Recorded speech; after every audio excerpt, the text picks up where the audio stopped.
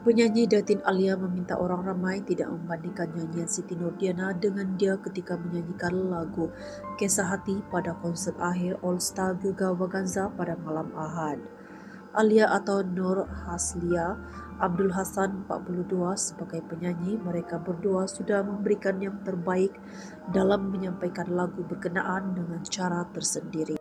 Saya kongsi semula semua mesej nama saya sebab sokongan yang diberikan buat saya sebang. Tapi janganlah jatuhkan sahabat saya, saya yakin dia pun sudah berusaha keras nak beri yang terbaik. Saya rakam lagu kisah hati ini berulang kali sebab mahukan yang terbaik. Tak kisahlah lagu sendiri atau lagu orang, hargailah kerana usahakan. Mohon jangan bandingkan kerana kami sahaja tahu rasa sakit itu, katanya. Alia berkongsi perkara itu menerusi Instagram miliknya pada Isnin. Luahan itu dibuat selepas peminat meluahkan rasa kurang senang dengan komen juri tetap ASGV iaitu Hetikus Endang yang menganggap nyanyi Siti Nurdiana lebih baik berbanding dia.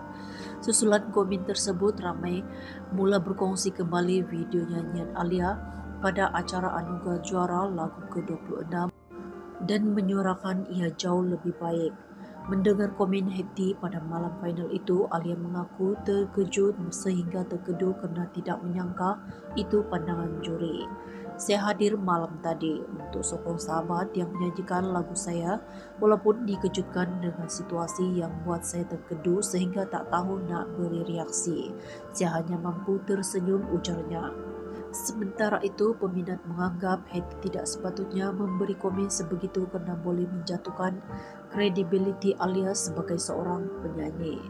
Malah video nyanyian Alia sebelum ini juga mulai menjadi trending di media sosial selepas kejadian itu.